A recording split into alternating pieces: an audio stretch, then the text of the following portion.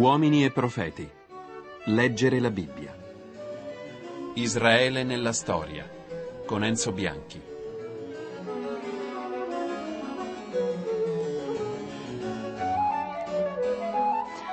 Una buona giornata a tutti da Gabriella Caramore, come insomma credo che vi stiate ormai abituando, siamo alle 9.30 ogni mattina in diretta da via Asiago. Voglio ringraziare tutte le persone che ci hanno seguito in questo inizio di, eh, di questa piccola impresa, insomma di una lettura sistematica e continuata della, della Bibbia. Sono arrivate molte lettere, di alcune daremo conto naturalmente man mano che andremo avanti con questa lettura. Voglio dire in particolare che la cosa che ci ha fatto molto piacere è che molti di voi ci hanno scritto o detto eh, bene, forse adesso troverò il coraggio di cominciare a leggere la Bibbia e speriamo che sia un aiuto per, per tutti noi. Insomma. Ecco, abbiamo pensato di proporvi ogni volta a incipit della puntata un ascolto musicale, a sottolineare un po' l'elaborazione cui nel tempo la Bibbia ha dato luogo e oggi cominciamo con una riscrittura del Salmo 137, quello di cui parleremo più avanti, un momento eh, importante nella storia di Israele e del suo esilio, eh, al Naharot Bavel, nella tradizione della comunità sefardita di Gerusalemme, nell'interpretazione di Joel Cohen.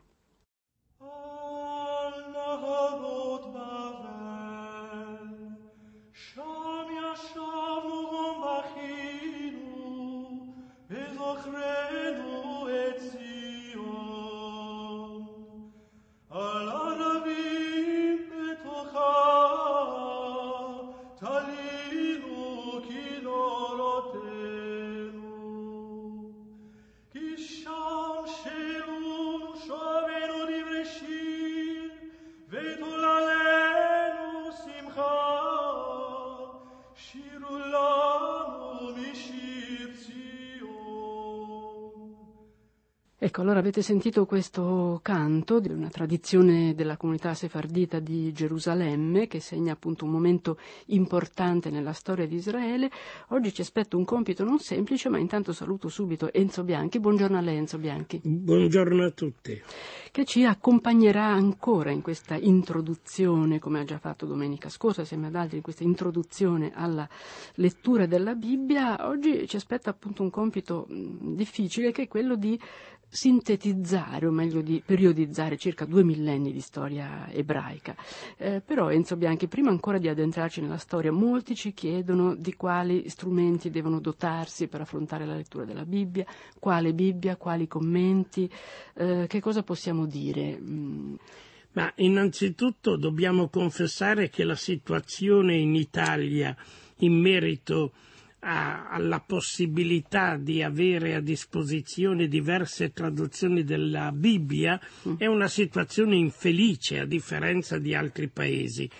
Ancora 30 anni fa noi avevamo a disposizione 5-6 versioni, traduzioni della Bibbia in italiano e poi invece ultimamente c'è come una forma eh, di monopolio di unica traduzione della Bibbia che si è imposta, che è quella ufficiale della Chiesa Cattolica Italiana e che indubbiamente è una traduzione che ha il suo valore, ma è un po' l'unica, non ci sono possibilità di confronti con altre traduzioni io penso sovente in Francia, dove attualmente ci sono undici traduzioni della Bibbia in francese, undici.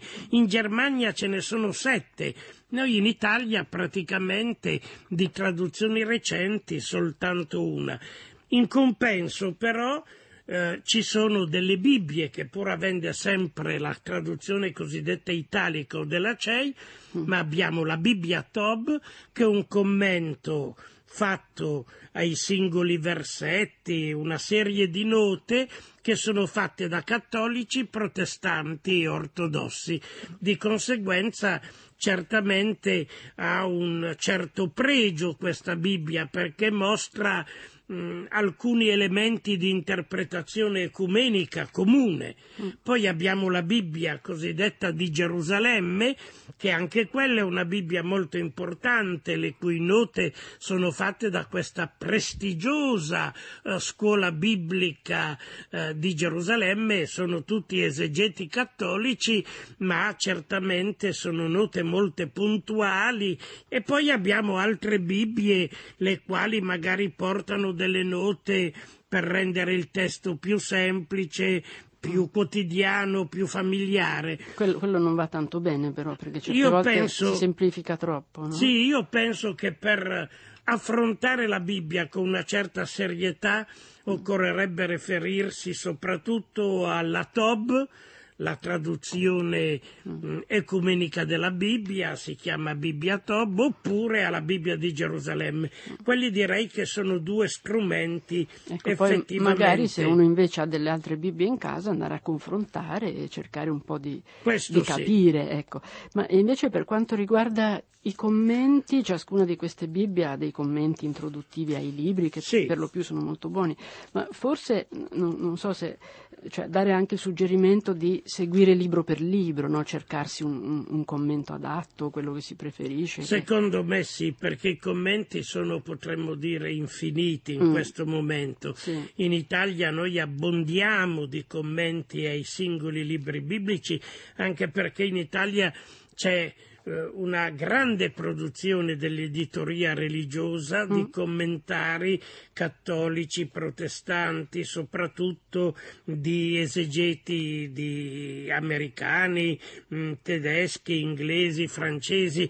Di conseguenza noi in Italia siamo tra i più privilegiati per la quantità di commenti e di libri che ci, possiamo ci si può usare. anche un po' smarrire però. Ci si può smarrire perché eh. non tutti hanno la stessa stessa qualità, alcuni certamente inseguono anche a volte delle ipotesi che non sono, eh, direi, ipotesi accettate, sono ecco, un po' ardite. Po- possiamo suggerire, per chi è un po' alle, alle prime armi, di insomma, sceglierne uno un po' così anche come viene e di leggerlo anche tenendosi delle, delle riserve no?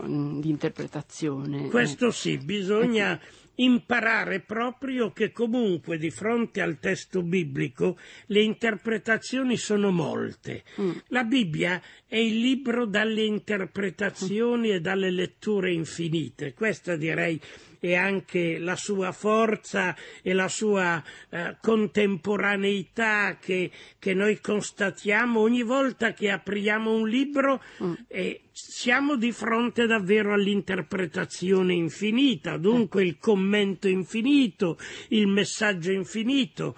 E questo noi dobbiamo abituarci, cercare quelli che sono dei commenti adatti alla nostra capacità intellettuale, agli strumenti eh, che noi possediamo, perché ci sono alcuni di raffinata esegesi mm. che soprattutto sono filologici, quindi si basano sull'ebraico, sul greco, altri invece che sono già capaci di offrire un commento, un messaggio per ogni brano biblico e dunque direi hanno la possibilità di, di essere per il grande pubblico Ecco, bisogna certamente addentrarsi, bisogna, direi, bisogna un po' cercare. No? Cercare ecco. e, e non, non, spaventarsi e farsi aiutare. Io credo che ci sono molti che hanno delle capacità oggi di leggere la Bibbia, mm. almeno nelle varie comunità cristiane italiane, e possono aiutare uno, condurlo man mano affinché ci sia una lettura sapiente, una lettura feconda e soprattutto proficua. Ecco, questa è anche un po' diciamo, la nostra intenzione di non di dare una, una lettura eh, così completa e assoluta della Bibbia, ma di fornire pian piano, man mano, dei suggerimenti, questo abbiamo detto domenica scorsa, e questo continueremo a fare diciamo, nel corso di questa eh, piccola avventura. E naturalmente ogni tanto segnaleremo delle cose, un dizionario, un Atlante, un commento. Ecco, ma dunque Enzo Bianchi, la storia. Allora, la Bibbia non è un documento storico, ma attraverso molti passi della Bibbia possiamo ricostruire la storia di Israele, almeno a grandi linee, però ecco come distinguere ciò che è storico e ciò che non lo è e quali altre fonti abbiamo per ricostruire la storia di Israele. Beh, innanzitutto bisognerebbe dire che nonostante la parola storia, come la diciamo noi, mm. non compaia non nella, Bibbia, nella Bibbia, noi dobbiamo ammettere che proprio la Bibbia è l'inventrice della storia.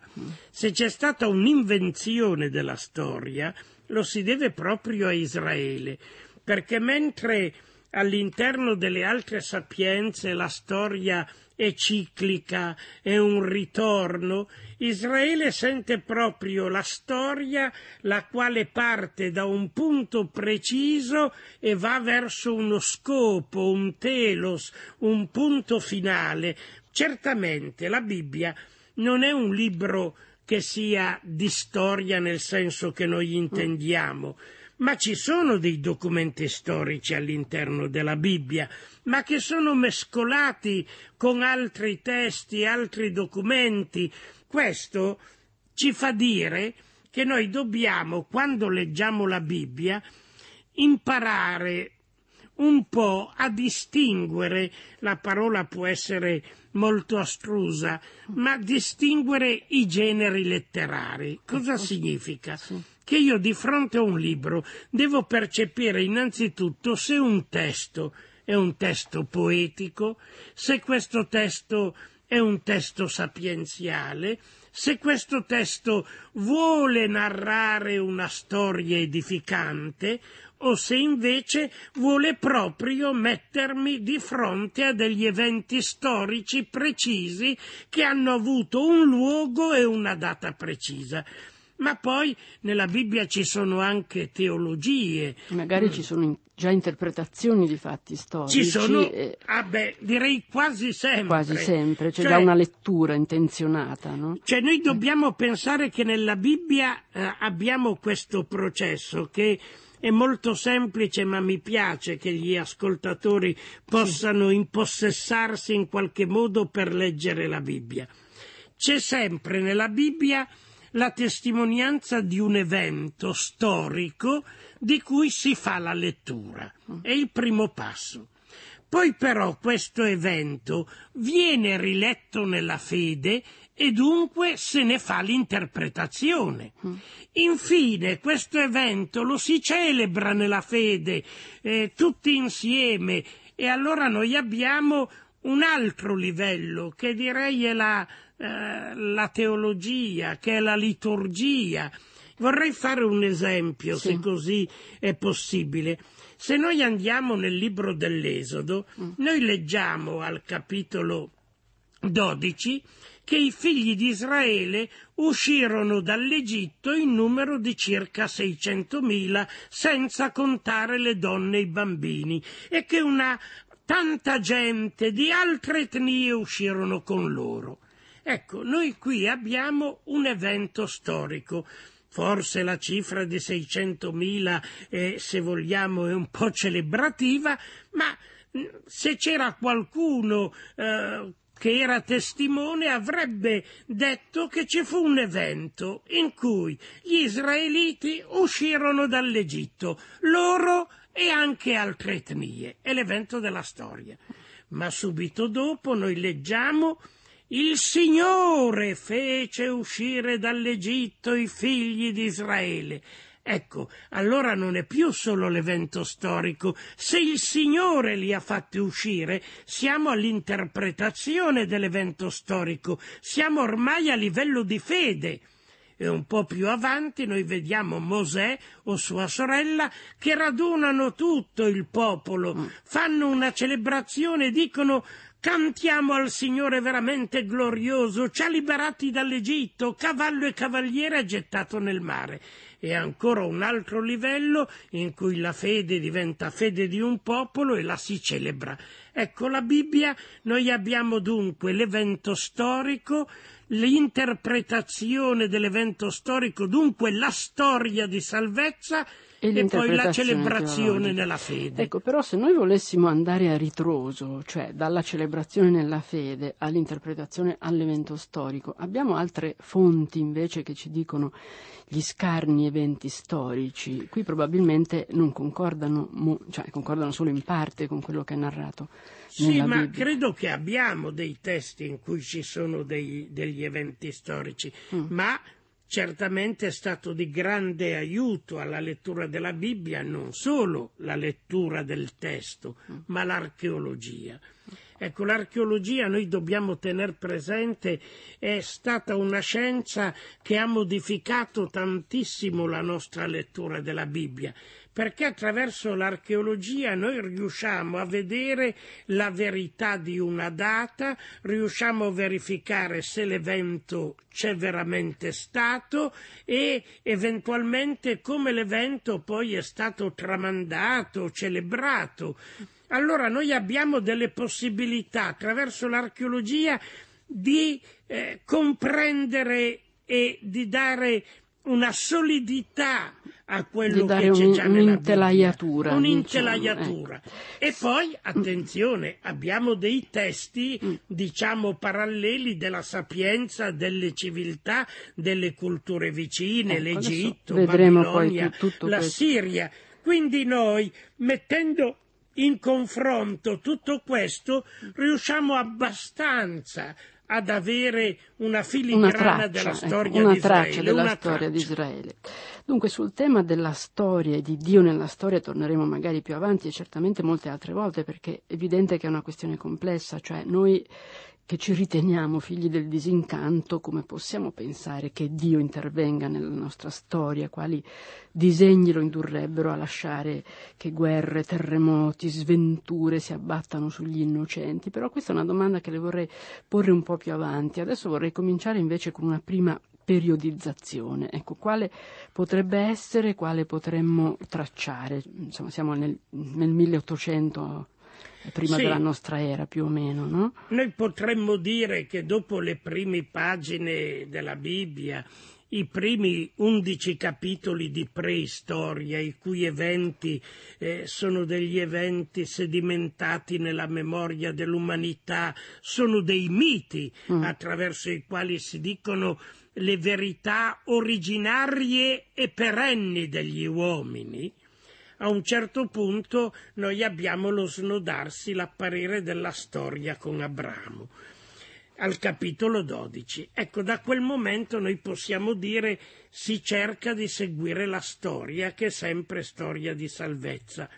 Noi dobbiamo collocare le vicende di Abramo, di questi grandi padri, patriarchi, mm. grandi padri, i padri iniziali. Possiamo collocare Abramo, Isacco, Giacobbe in un periodo che può andare tra il 1800 e il 1300 circa, eh, 1250. Mm. In sostanza sono più secoli e noi possiamo anche pensare che questi personaggi non siano il padre Abramo, suo figlio Isacco e l'altro suo figlio, suo nipote Giacobbe, mm, certo. ma che sono dei grandi padri dei clan delle tribù di Israele, di cui c'era memoria, di cui oralmente si trasmettevano le gesta, si trasmettevano gli eroismi, si trasmetteva la fede soprattutto,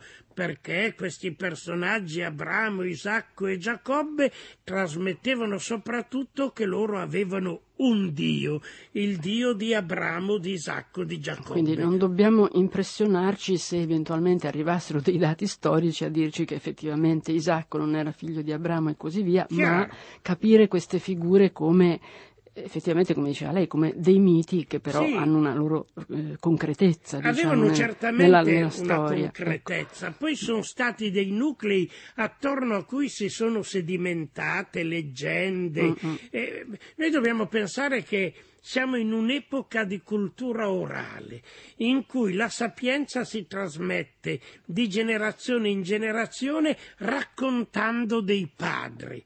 Ecco, noi dobbiamo pensare come l'identità di queste tribù veniva dato dall'aver avuto il grande padre Abramo che veniva da Ur dei Caldei.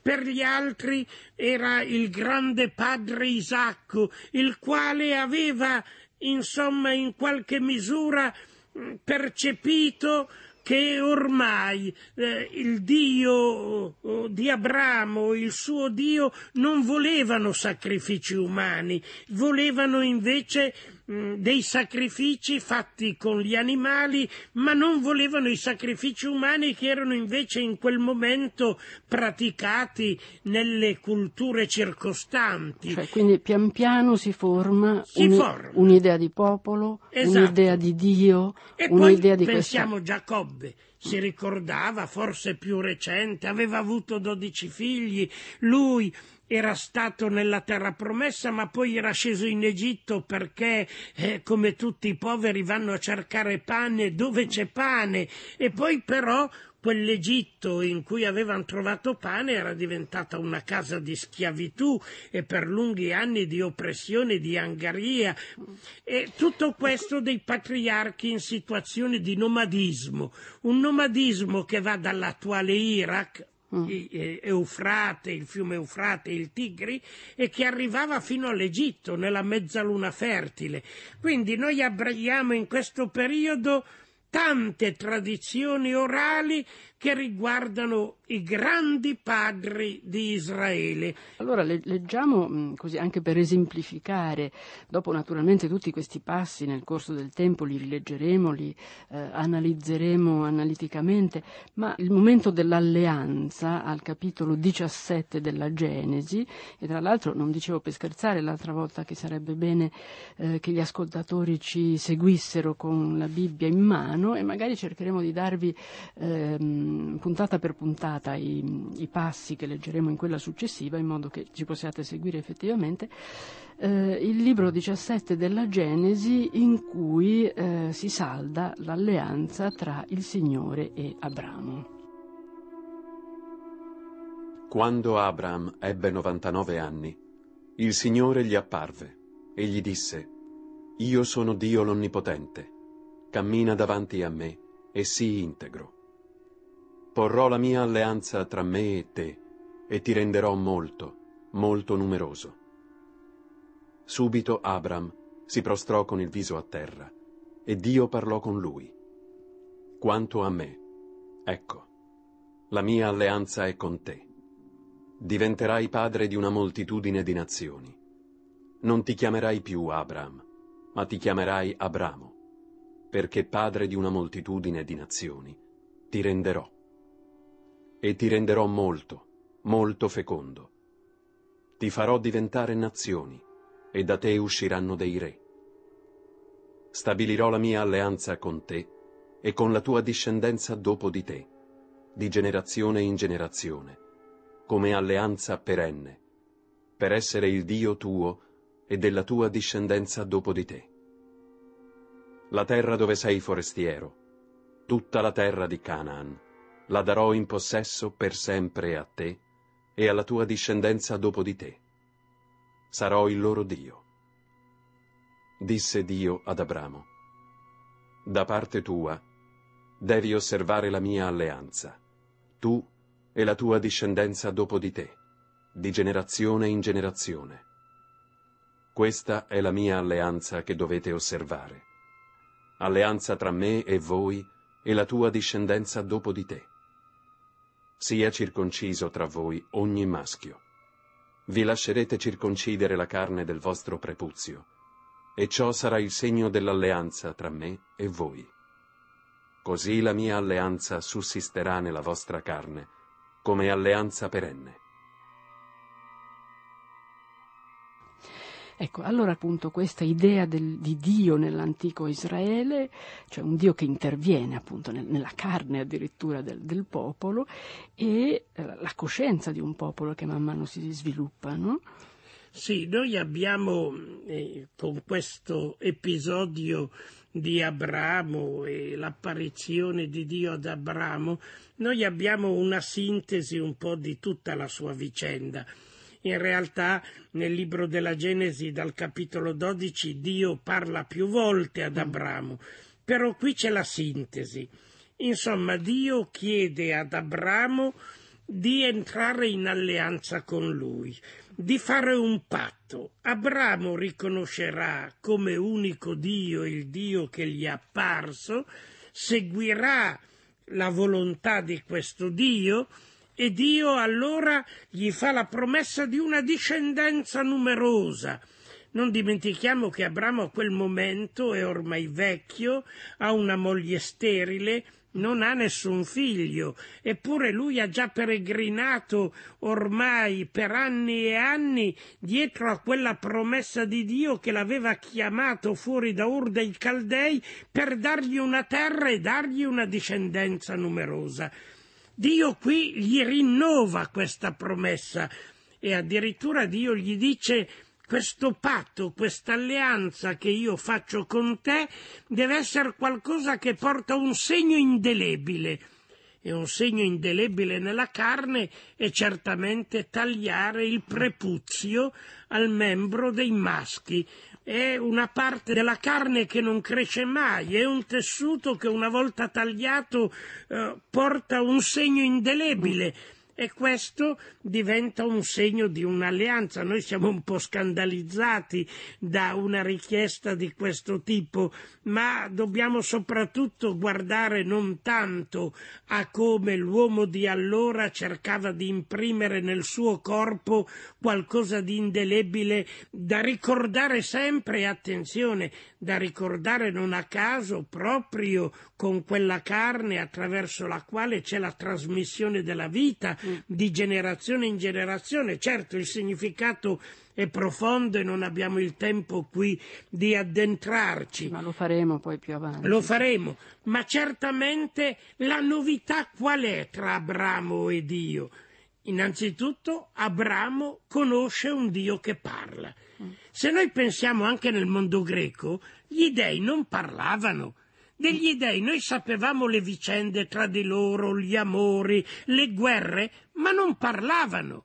Mentre invece, direi, lo straordinario del Dio di Israele è un Dio che parla e parla all'uomo e sceglie l'uomo come partner e fa alleanza con l'uomo. Abramo, ecco, la sua fede inizia in questa avventura, sente che c'è qualcuno cui può dare del tu, questo qualcuno è Dio e questo Dio ha una voce nel suo cuore che è più forte della stessa voce che Abramo aveva dentro di sé. Dunque, una seconda tappa, la prima ci ha detto dal 1800, 850 circa prima dell'era volgare al 1200, una seconda tappa dal 1200 Beh, al, al 1000 quando c'è eh, la, la, richiesta di, di, un re, di un regno e poi al 598 quando ci sarà la deportazione a Babilonia. Eh, ecco, qui noi siamo di fronte già a dei dati molto più sicuri, molto più precisi, mm.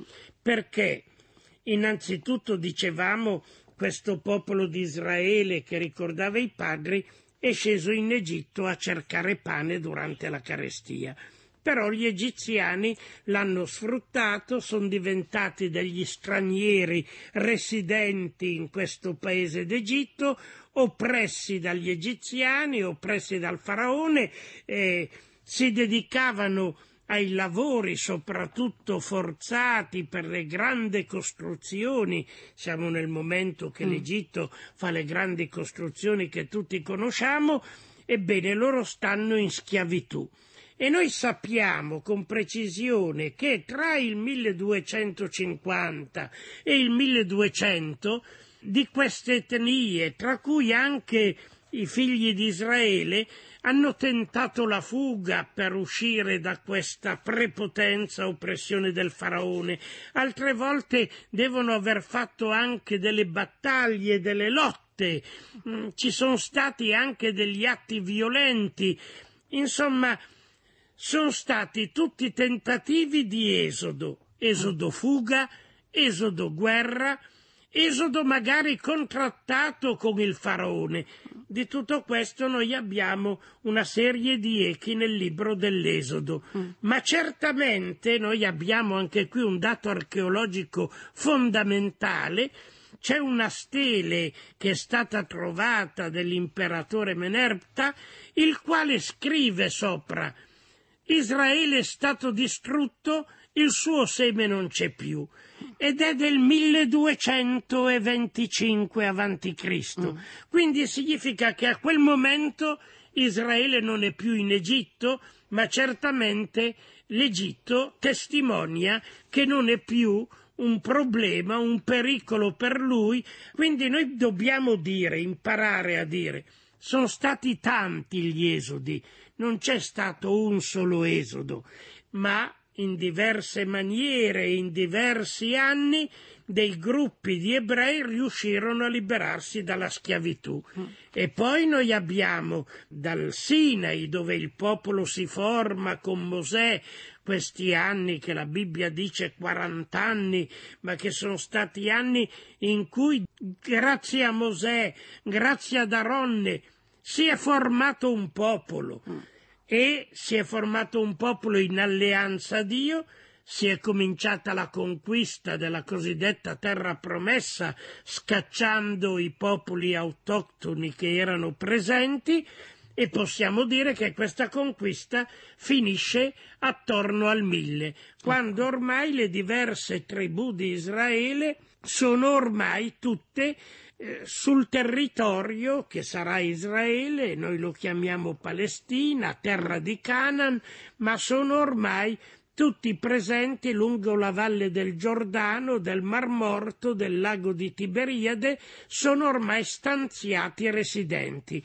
A quel punto ormai Israele può sentirsi davvero un popolo e comincia a essere sedentario, non solo nomade, non solo di pastori, ma anche di agricoltori e anche capaci di una vita commerciale, e viene fuori la richiesta di avere un re come tutti gli altri popoli e, e siamo attorno una, al mille. Questo segna una tappa fondamentale nella, dire, anche nell'identità di popolo di Israele, come documentato molto bene da un capitolo del primo libro di Samuele, il capitolo 8, eh, quando appunto Samuele racconta al Signore che il popolo chiede un, un re.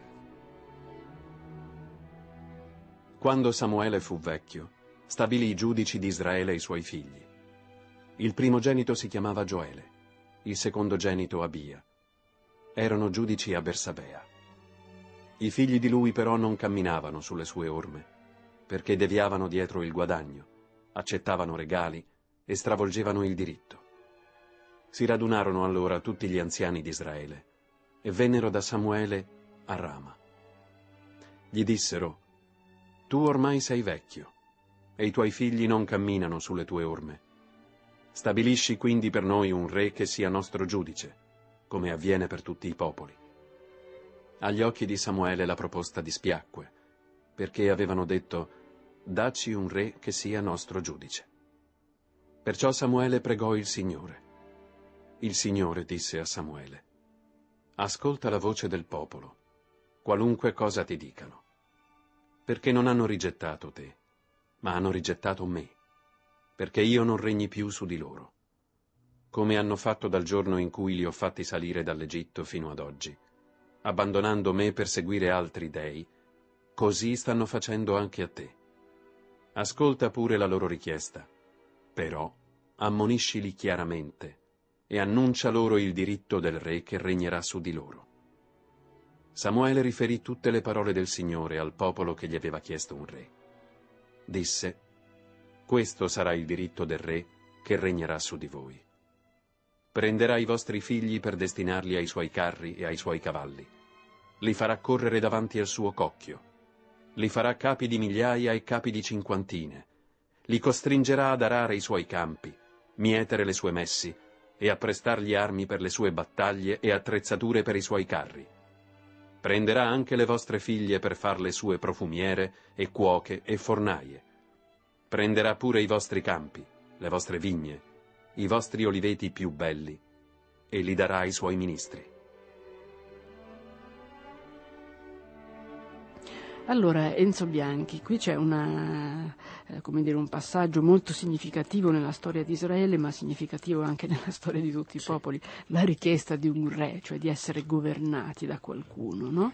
Ecco, ma, qual, qual, è il significato storico e teologico? Ma indubbiamente questo testo che abbiamo ascoltato segna un passaggio tra una situazione nomadica e una sedentaria, tra una situazione in cui ogni tribù aveva un capo, un giudice, il quale esercitava il potere soprattutto nei momenti di difficoltà, di crisi, quando si doveva difendersi dai nemici, qui invece si vuole un re secondo l'ideologia dominante di quel tempo, perché mm. siamo significativamente intorno al 1000 avanti Cristo e ovunque ci sono dei re, ovunque ci sono degli stati con dei re. Israele, il popolo di Israele chiede un re. E in questo testo meraviglioso che abbiamo ascoltato, che è uno dei testi più antiregali di tutta la storia dell'umanità, è un vero testo contro l'ideologia del potere, Ebbene, all'interno di questo testo noi vediamo che il popolo in qualche misura rifiuta che Dio sia il suo re. Quindi rifiuta vuole, la libertà. Rifiuta la libertà, vuole in sostanza il grande capo, vuole l'uomo eh, della provvidenza mm. e allora Dio era attristato. E fa una bella analisi di che, cosa significa, di che cosa significa, avere un capo sì. no? che, che, ti domina. Io pregherei i lettori di rileggerlo alcune eh, volte sì, per sì. vedere tutta questa dinamica che c'è nel testo. Il re piglierà le vostre figlie, i vostri figli per fare i suoi schiavi. Cioè qui c'è, direi, la testimonianza di come noi uomini non vogliamo essere liberi. La libertà ci fa paura, la responsabilità ci fa paura e questa pagina è triste ma è molto contemporanea. Ecco, naturalmente poi nella storia di Israele ci sono stati anche grandi re, da Saul, grande e tragico, a Davide e così via, ma diciamo che di lì comincia una progressiva eh, decadenza, divisioni interne, lotte e così via, finché si arriva appunto alla terza tappa, che è quella dell'invasione prima degli Assiri nel regno del nord, poi dei babilonesi che arrivano a prendere Gerusalemme, e questo nel 598 e qui si dà inizio al grande esilio, che è l'altra grande eh, figura della storia di Israele, no? cioè l'esodo da un lato, l'esilio dall'altro. Bianchi. Sì, noi dobbiamo pensare proprio che nell'anno 1000 circa Davide è stato unto re. È il primo grande re di Israele, Saul, colui che l'aveva preceduto, è finito pazzo, è stata una vicenda tragica. Davide è davvero il re ideale, ma dopo di lui ci sarà Salomone, il quale introdurrà l'idolatria, è vero che sarà un re che darà pace, che estenderà i confini, porterà il benessere, ma col benessere l'idolatria, l'allontanamento dalla fede, il sorgere dell'ingiustizia sociale dei poveri. E da quel momento dal 1000 da Davide Salomone fino al 598 ci sarà tutta una serie di re e sono, attenzione, sono 400 anni, mm. ma re che saranno quasi tutti degli empi. E in questa storia di salvezza, quando arriva la Shoah, la prima, nel 722, quando gli assiri arrivano e smembrano le tribù del nord, distruggono la capitale del nord, portano i primi deportati in Assiria. Noi vediamo che i profeti dicono questo è per l'infedeltà e per l'ingiustizia in cui il popolo viveva. E poi c'è la grande catastrofe per eccellenza, 598. I babilonesi che erano sorti e che avevano significativamente abbattuto l'impero assiro, ma ecco, in campagne di guerra verso l'Occidente, arrivano anche a Gerusalemme, la circondano, la distruggono e la grande distruzione, e la Shoah, e la catastrofe che ancora oggi gli ebrei piangono come il più grande lutto della loro storia, forse solo reso maggiore dall'ultima Shoah avvenuta sotto l'impero nazista, ma gli ebrei sono portati a Babilonia, deportati, e vanno a Babilonia sul Tigri, sull'Eufrate, vanno a collocarsi là e tutta la Giudea resta una terra desolata. Inizia l'esilio, resteranno in esilio presso degli stranieri, e con, Quindi abbiamo bisogno di un, di un documento di, di, che cosa ha significato questo esilio. Abbiamo e il Salmo 137. Il grande Salmo 137 che è stato molto anche eh, celebrato per la sua grande bellezza e anche che ci darà poi l'idea che intorno a questo esilio si costruisce anche un'altra identità di Israele.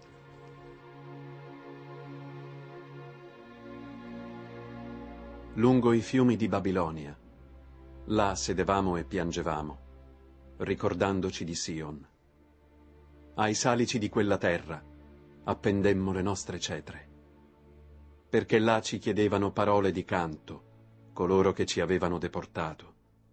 Allegre canzoni, i nostri oppressori. Cantateci canti di Sion. Come cantare i canti del Signore in terra straniera? Se mi dimentico di te, Gerusalemme, si dimentichi di me la mia destra. Mi si attacchi la lingua al palato, se lascio cadere il tuo ricordo. Se non innalzo Gerusalemme al di sopra di ogni mia gioia. Ricordati, Signore, dei figli di Edom, che nel giorno di Gerusalemme dicevano spogliatela, spogliatela fino alle sue fondamenta.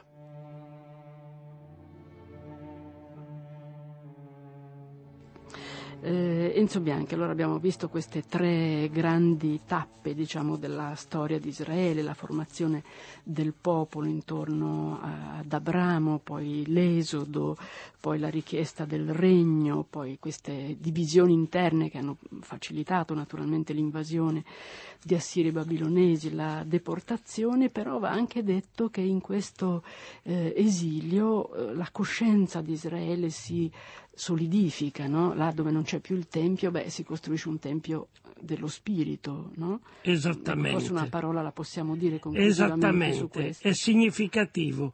Dove manca il tempio emerge la scrittura, emerge la Bibbia.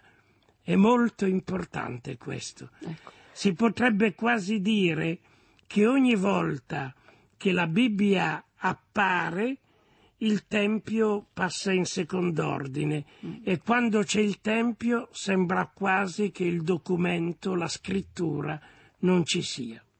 Ecco, la prossima volta ripartiremo proprio da, da qua, invece da questa scrittura che si forma, che si fonda. Eh, noi siamo in debito con eh, gli ascoltatori per l'altra puntata in cui avevamo detto che avremmo commentato il passo di Levinas, ma lo faremo in una puntata dedicata alle interpretazioni. Io la ringrazio molto Enzo Bianchi e le auguro una buona giornata. Grazie tante. Buona domenica a tutti. E ricordo a chi ci ascolta che naturalmente saremo qui da sabato prossimo, sempre alle 9.30 d'ora in poi. Ricordo il nostro sito www.uominiprofeti.rai.it dove potrete riascoltare eh, queste puntate, ma naturalmente anche le puntate del sabato. E per esempio ieri abbiamo dedicato il nostro ascolto a Vassili Grossman e al grande tema della libertà e della identità delle sopraffazioni e delle ingiustizie sotto qualunque volto. Eh, grazie da Gabriella Caramore e al prossimo sabato.